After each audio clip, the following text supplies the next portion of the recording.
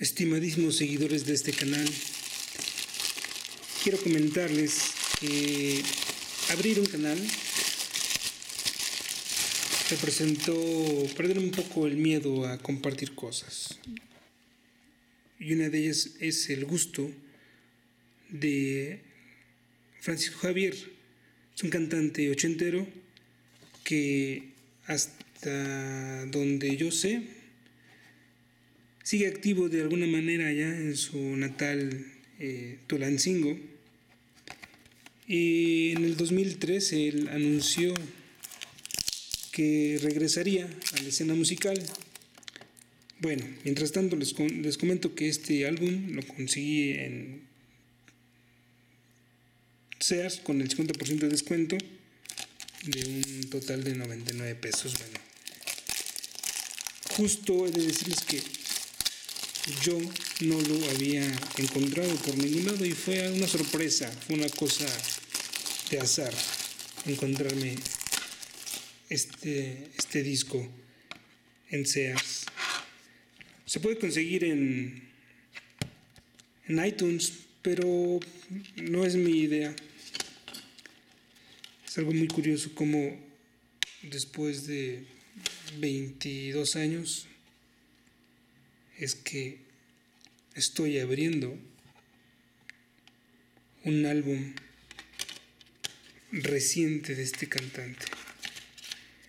Tuvo éxito, se le estima, y, y tiene canciones simples, si ustedes gustan, pero llenas de emoción y de mucho sentimiento.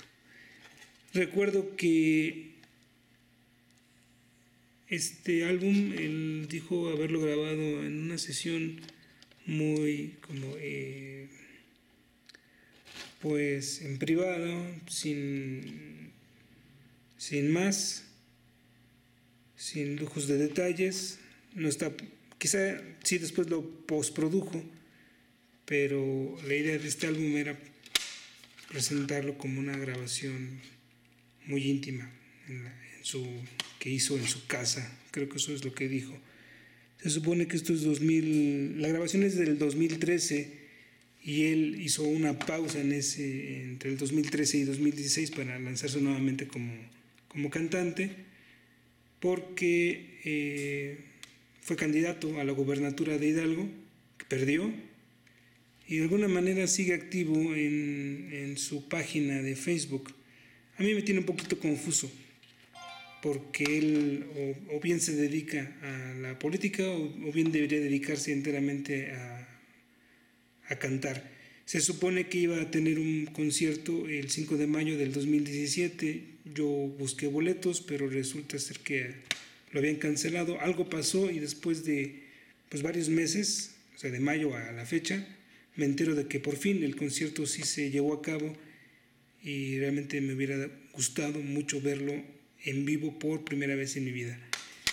Este es el unboxing y de hoy creo que lo escucharé con la debida adultez porque ni él ni yo somos los mismos después de 22 y casi 32 años después.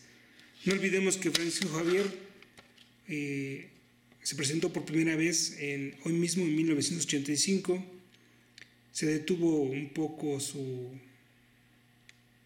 su inicio por el sismo del, de ese mismo año, del 19 de septiembre, y ustedes pueden buscar toda su historia en diferentes videos que hay en YouTube. Busquen uno de que hizo con una entrevista que tuvo con Gustavo Adolfo Infante. En fin, uno más para la colección tanto discográfica como en video para este canal, que originalmente se abrió subiendo contenido de grandes presentaciones que tuvo Francisco Javier en los 80s. Gracias por ver este video, nos vemos en el próximo unboxing. Hasta luego, chao. Adiós nena, bye.